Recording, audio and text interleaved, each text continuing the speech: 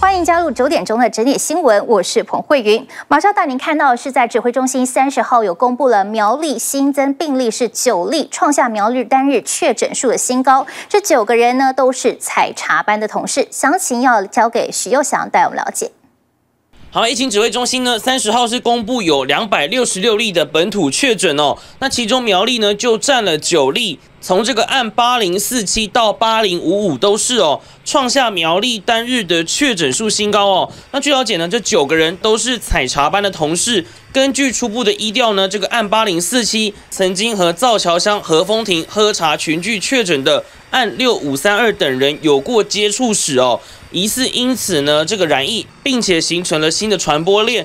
那再加上说，其实这个案八零四九呢，跟他的同住家人也确诊。那造桥乡和风亭喝茶群聚呢，是有这个万华活动室的案四九零六，在五月十八号呢，跟二十三号曾经和这个案七五一四这些人呢，在这个大平桥旁边的和风亭喝茶聚会，其后呢，三个人都接连确诊了。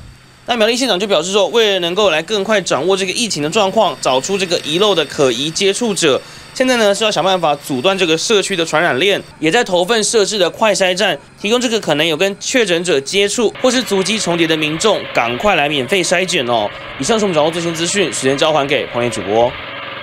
还有最新的消息是，新北市中和南市派出所有一名远警的 PCR 裁检确诊，那么四十二名和他接触过的同事、工友和厨工也到医院进行快筛，还要自行的自主健康管理。详情要连线给郭颖。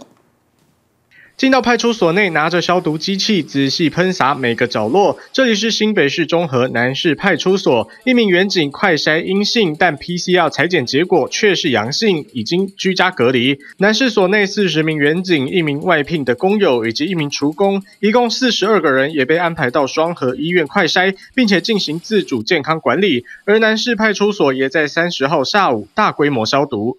至于南市所的勤务，则是设置机动派出所，由警安以及景和派出所员警来协助。到三十号为止，全台员警确诊数来到二十七人，还有一百一十九个人正在居家隔离，自主健康管理者则是七十七人。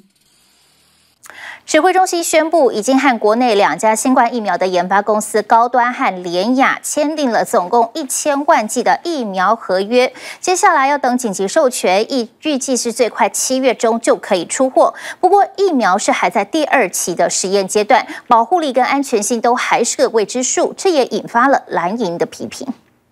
我们也签订了预采购的合约，证实已经和国内两大研发新冠疫苗的厂商签约。高端疫苗也赶紧在三十号下午突然发出重讯，包含高端、联雅都在五月二十八号和机关署签约，订了五百万剂疫苗，另外还附上限五百万剂之后继续扩充。它的限制条件就是要通过 EUA 以后，这个采购才算是后面正式的采购。预期大概在七月中左右。就可以陆续出货了。虽然已经先签约，不过条件是得通过紧急授权合约才能算生效。等于目前疾管署预计拿到一千万剂的国产疫苗，但都还在二期试验就签约。陈时中有把握必定会通过紧急授权吗？我没有是说二期它一定会成功，但我们希望它能够成功。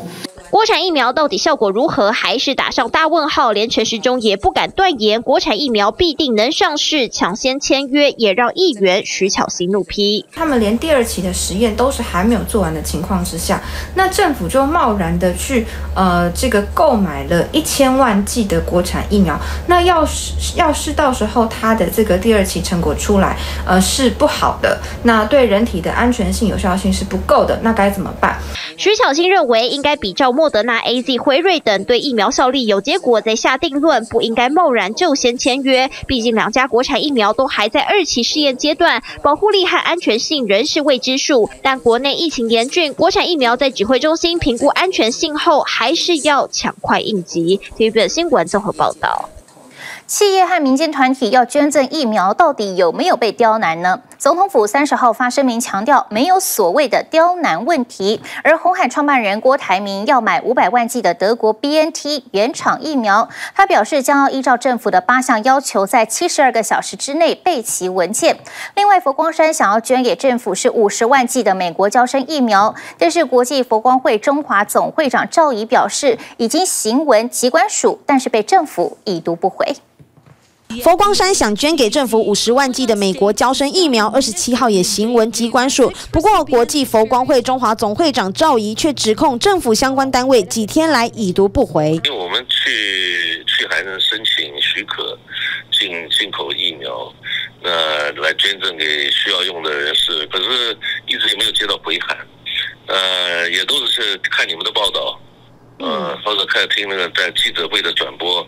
才了解到政府目前的政策，不过但是后来他那个那个两两大原则出来以后，让我们多少有一点再考虑，就是说政府的态度到底是什么？是不希望我们介入，还是？红海创办人郭台铭三十号晚间回应，永林基金会委托合格厂商向政府提出申请五百万剂德国 BNT 生产包装的疫苗，依政府提出的八项要求，全力会诊资料中，将在七十二小时内拼出文件。永林深知国人对这件事情的关切，但请大家再多给我们一点时间，我们将在七十二小时之内完成所有的文件，也为我们能够争取到货保留空间。新北市长侯友谊对于民间采购疫苗向中央喊话，别再刁难。总统府也立刻发声明反驳，对于相关人士寻求疫苗供应来源，表达感谢并欢迎，强调政府全力为国民健康把关，没有所谓刁难问题。总统府也解释，从疫苗进口、通路配送到后续的接种相关程序和合约，政府都必须充分了解，绝不是卡关。我们必须要告诉蔡英文总统，现在民众真的非常渴望拿到疫苗。我们平常呢跟里长联络，里长都说李明现在真的都非常害怕这个疫情，都很希望赶快拿到疫苗，希望我们反映这个心声。疫情重要关头，中央能不能加快脚步协助帮忙，还是要仔细把关，宁缺毋滥。中央声明坚持立场，但就怕国人等不及。前国民党主席朱立伦也要网友一人一句到总统蔡英文脸书留言：“我要疫苗。”希望民众的心声，政府能够听到。TVB 新闻徐国恒、李婷台北采访报道。红海创办人郭台铭打算要购买国外的疫苗来捐给政府，那么对此指挥中心是一度的表示，就算是捐赠，也得要中央出面来签约，这就引发各界批评了，说政府办不到的，还要挡别人买进来。不过对此，指挥官陈时中三十号改口了，他说不再提中央的签约，只呼吁赶快申请确认疫苗的货源。郭台铭要买疫苗的 Po 文，有人提问说，指挥中心要求，就算捐赠也得由中央政府跟厂商签约，会不会增加郭董捐赠疫苗的困难度？意外调出郭董亲自回应，会。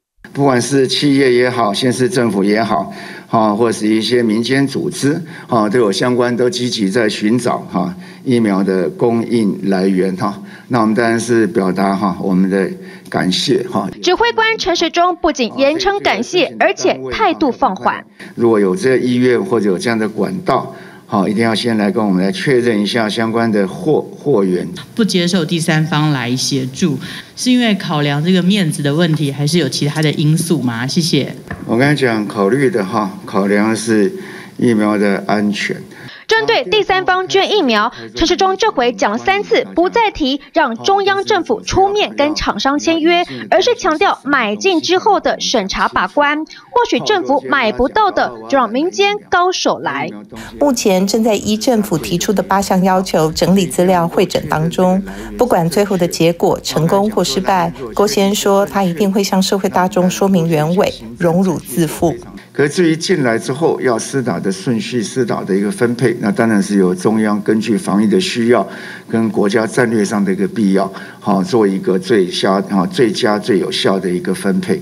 当中央政府自己采购被摆了一道，民间企业循正常管道购买再捐赠，或许也是变通之计。毕竟政府的颜面怎能摆在人命之前？TVB 新闻张志明、陈玉文台北报道。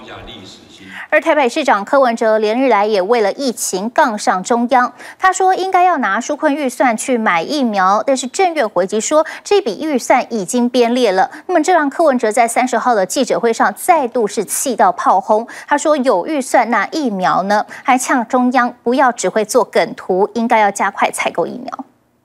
你不讲哦，我还不生气呢。你越讲，我就更生气了。所以重点不是你编预算嘛，重点是疫苗要到手嘛，也不要每天去做梗图，你知道转移视听了。柯文哲又生气了，因为前一天炮轰中央特别预算，与其大撒币纾困，不如抽点钱买疫苗。结果是让行政院赶紧澄清，说是在原本的纾困预算上再增加两千一百亿，且新预算中的两百二十四亿就要再买疫苗。这反击柯文哲的新闻稿，让柯文哲越。想乐器，炮火全开。纾困要做，可是，在哈要纾困的时候，也要去思考哈，疫苗的预算都已经编了三百四十亿，那就去执行啊，赶快做啊。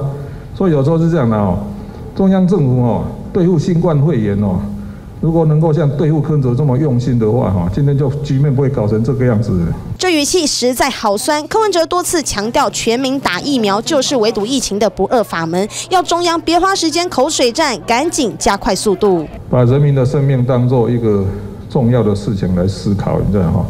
那不不要那一些奇奇怪怪的理由去去搪塞了。不管你什么理由的哦，预算也编了哦，世界上也有也有也有也有疫苗。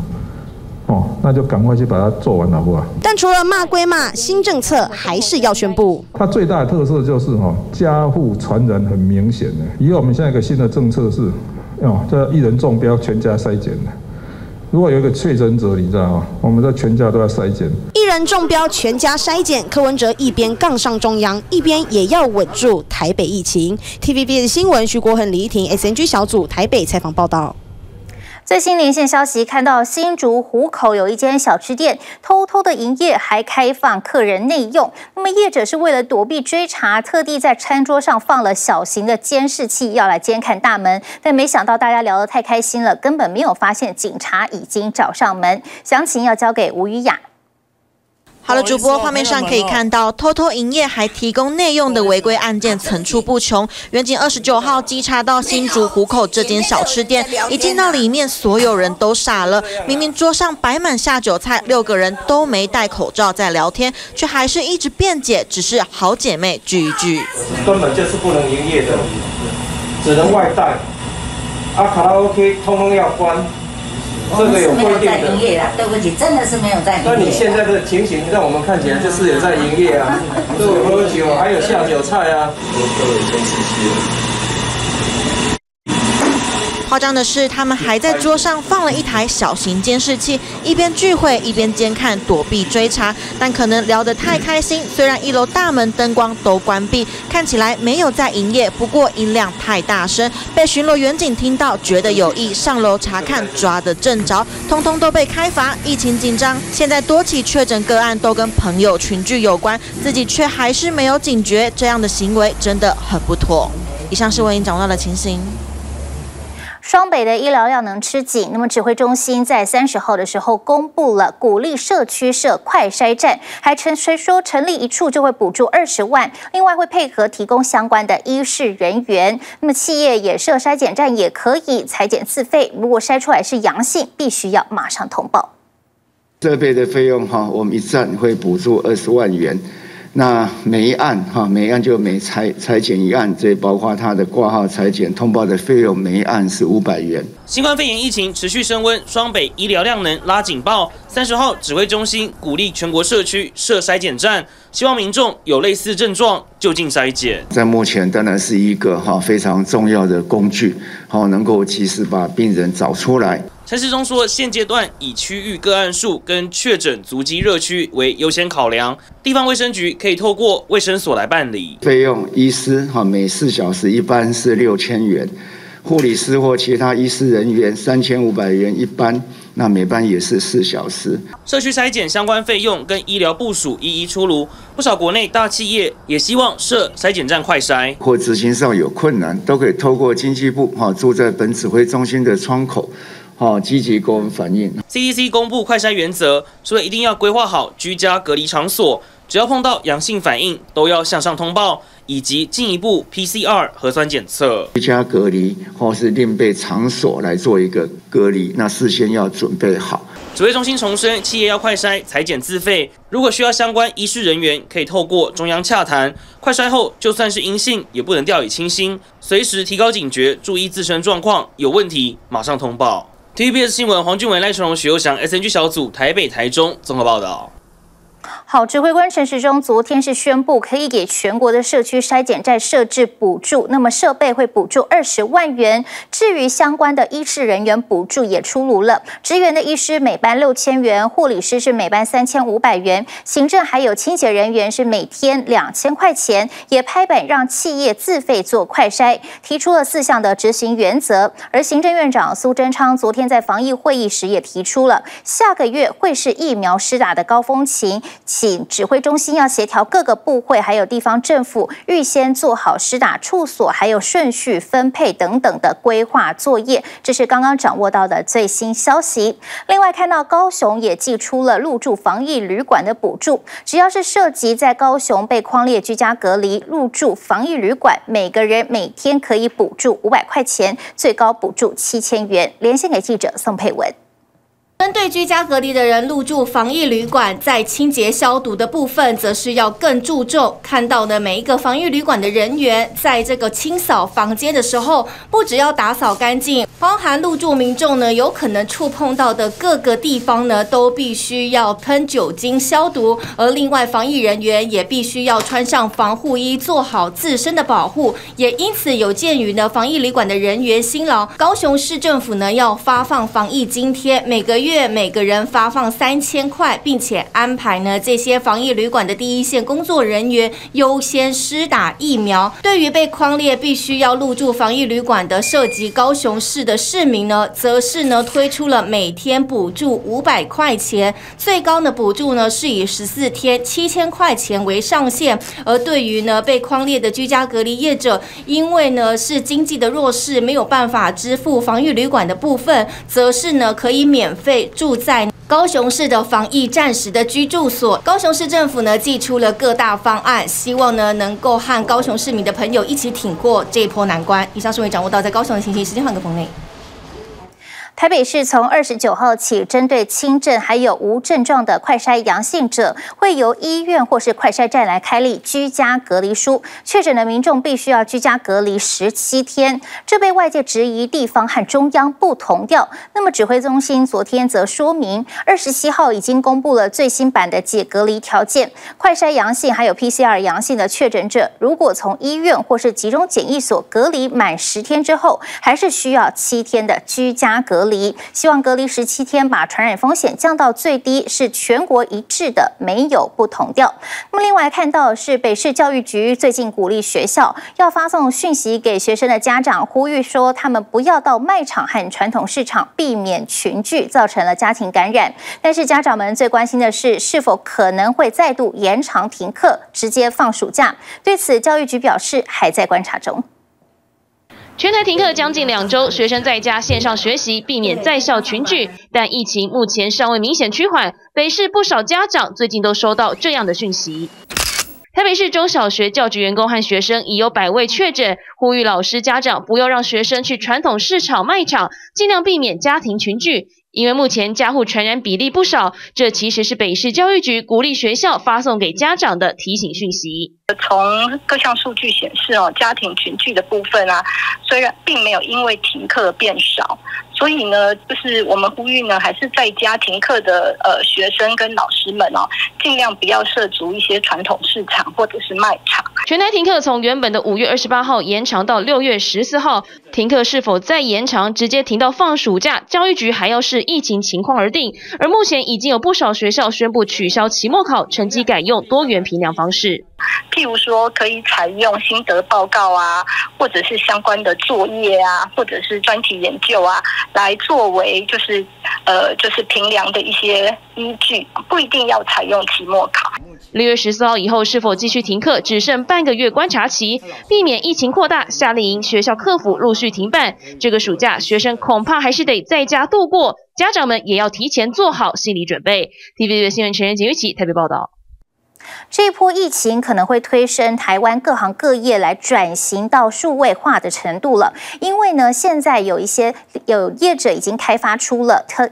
无需抄表的技术，可以让水表或是瓦斯表上的数字透过云端来上传。另外，还有电商工具的业者是进军台湾，他们号称是可以利用 AI 的辨识技术，会有小帮手来协助接单和付款。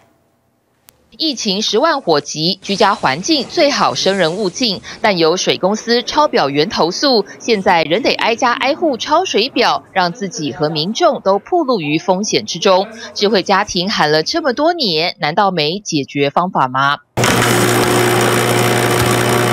把传统机械式水表换成电子装置，再搭配黑盒子搜集数值，整合物联网技术，就能每个小时将用水量上传到云端后台，在疫情期间发挥成效。抄表员他们如果到现在，他们还是必须要到一些高感染区去抄表的话，那对他们的健康其实是非常非常大的风险，因为他们也是会随处到处在台北市这样到处跑。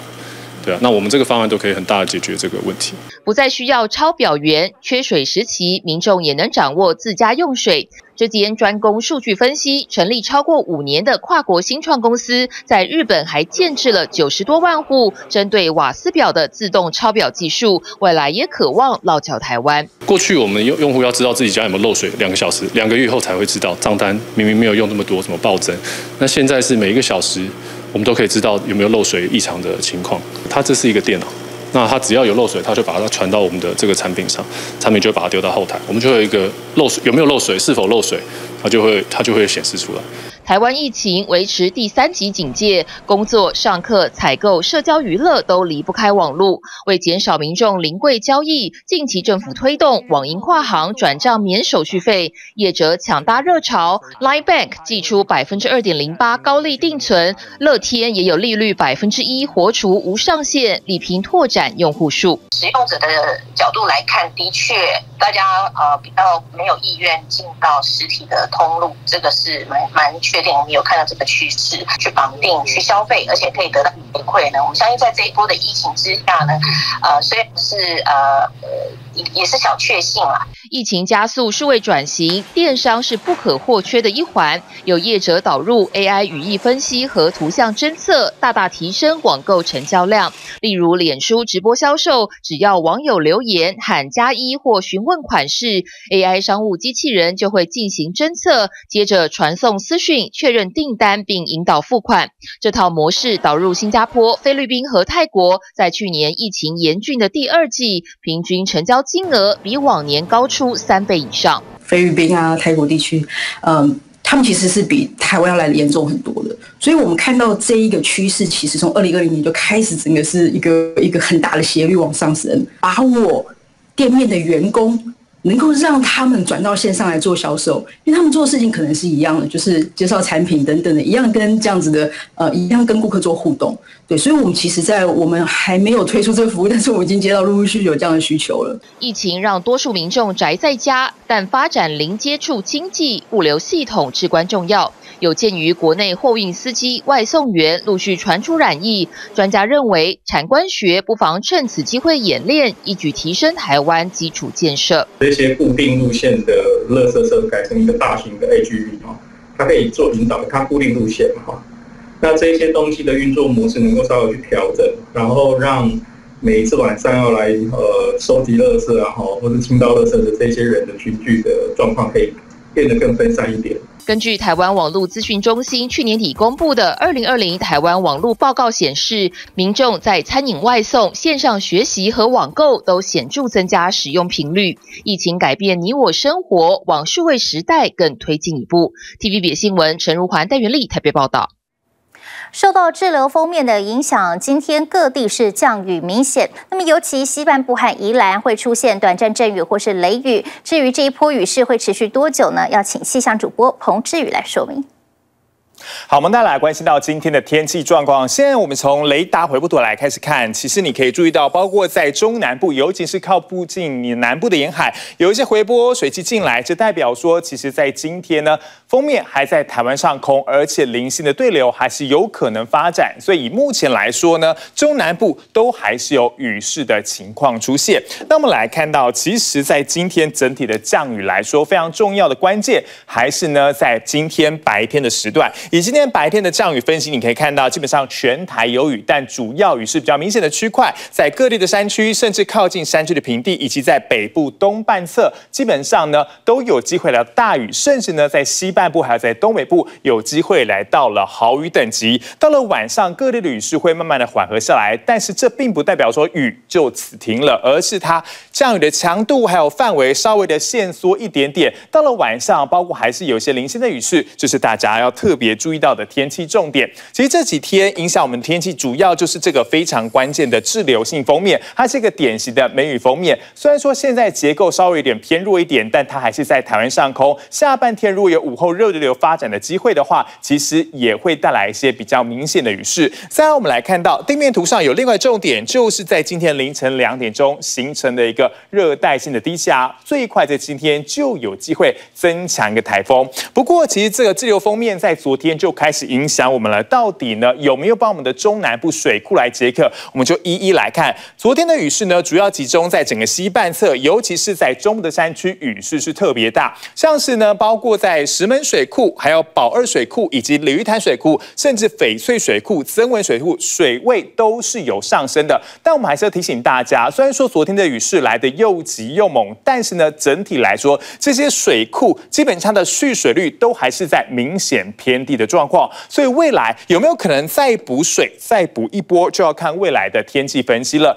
整体来讲，包括是这一次的滞留封面会一直维持影响到明天，明天的降雨也都是稍微的明显一点。但是从星期三开始，这封面开始逐渐往北台，北台之后对台湾的影响就会明显偏小。星期三、星期四，甚至到星期五，这封面都在一个偏北的位置，所以说呢，降雨的状况会比较少一点点。但是下半年天的午后降雨还是有的。直到那我们要特别注意到一个时间点，就是星期六、星期天，这个封面呢有机会再往南压。如果这封面再往南压的话，当然天气。我们的台湾的雨势又会有一个再补水的机会，所以说大家可以观察一下星期五之后的天气状况。但是呢，在今天我们还是要刚刚提醒大家哦，其实呃最快在今天有机会新的台风生成，如果生成的话，就是今年的第三号台风叫彩云，预计呢它经过到了吕宋岛的。这一侧的时候，它的东边的时候呢，就会逐渐的拐弯，对它的影响现在还要持续观察。但还是提醒大家，今天全台湾天气状不稳定，温度也上不去。以北台湾来说，今天中午高温大概在二十七度左右，中部南部地区来到二十八到三十一度上下。不下雨的时候，在中南部感受还是蛮热的。往东走，宜兰换台东，大致上温度在二十六到三十度左右。还是提醒大家，今天外出活动一定要记得携带雨具。所以最好的话，还是待在家里了。这是这节最新。的气象资讯，请订阅、按赞、分享 TBS News 频道，并开启小铃铛。同时用手机下载 TBS 新闻 App，随时掌握国内外焦点，等你哦。